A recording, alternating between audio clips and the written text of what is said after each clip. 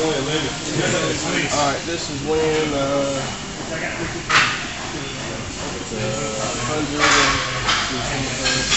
and 175 and one, uh, 185, 184. This has got what's called a steel bell in it. It weighs 126 pounds.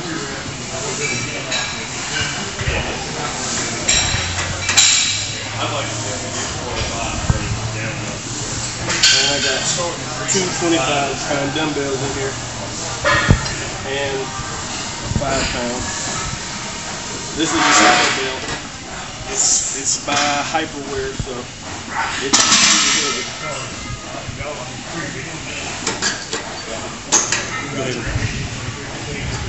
I got a weighted vest on and ankle weights, so that makes me 200 and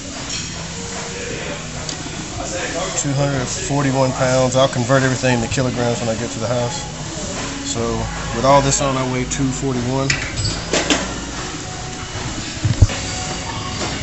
So these are five pounds each.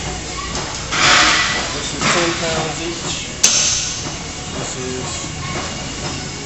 steel bell with five in it. We'll add the 25